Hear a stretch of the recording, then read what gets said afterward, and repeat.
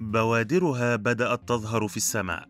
الجهات الرسمية أطلقت تحذيراتها وأعلنت حالة الطوارئ، والسكان في حيرة من أمرهم بعد أن ربط الكثير من المحللين بينها وبين اقتراب وقوع الزلزال في سوريا، فما طبيعتها ومتى موعدها؟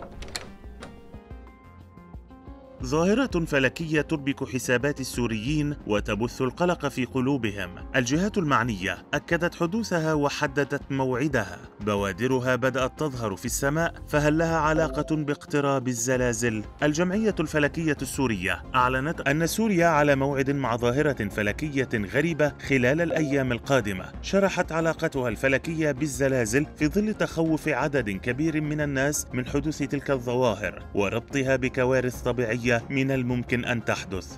حقا سوريا ستكون على موعد مع ظاهرة تسمى ظاهرة القمر الثاني. في الفترة ما بين التاسع والعشرين من سبتمبر الجاري وتستمر حتى الخامس والعشرين من نوفمبر المقبل. تلك الظاهرة عبارة عن دوران كويكب صغير يطلق عليه اسم القمر الثاني حول الأرض حيث يبلغ قطر الكويكب 11 مترا ويسمى في علم الفلك بيتي 20245 القمر الثاني أو الكويكب سيدور مرة واحدة ثم يغادر إلى أجزاء أخرى من النظام الشمسي. هذه الظاهرة تم اكتشافها حديثا من قبل بعض الباحثين، إذ أطلقوا عليها اسم ظاهرة القمر الثاني. وحول إمكانية رؤية الظاهرة بالعين المجردة، قالت الجمعية إن رؤية الكويكب بالعين المجردة أو عبر تلسكوب الهواة من المرجح ألا يكون ممكنا. وبالنسبة لتشكيل هذه الظاهرة الفلكية على كوكب الأرض، الجمعية تعهدت بأنها لن تشكل خطرا على الأرض ولا علاقة لها بالزلازل كما يحاول البعض الربط بينهما. مصطلح القمر الثاني أو القمر المؤقت كما يفضل بعض الباحثين أن يطلقوا عليه هو عبارة عن جرم سماوي صغير الحجم وفي الأحوال العادية يكون هذا الجرم كويكبا.